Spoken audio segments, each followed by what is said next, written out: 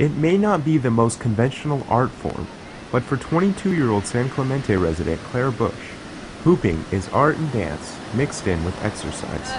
Hooping is hula hooping.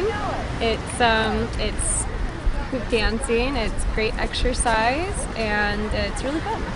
I just, you know, I just kind of got addicted to it. I guess um, it's just such a fun thing to do, and it's just so like uh, zen. I guess you know when I'm hooping, I just am not thinking about anything that's stressing me out or what I have to do later. I'm just really living in the moment.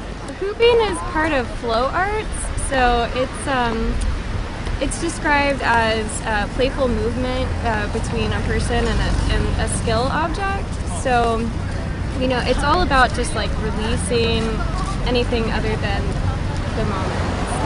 Well, I love hooping, and I would absolutely love to, um, you know, start teaching and teach other people because I've reaped a lot of benefits from it myself. I've lost 20 pounds this year, which I think is mostly from the hula hooping. Um, you know, it, it's just it's just such a great like release. Um, you know, I'd also love to start performing.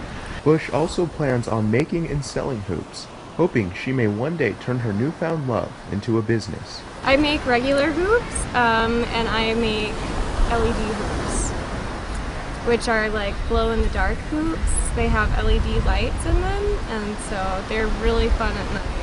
Uh, well, you know, it's not about competition. It's just about having a fun, you know, having a great time and learning from each other, and you know, just sharing the hoop love.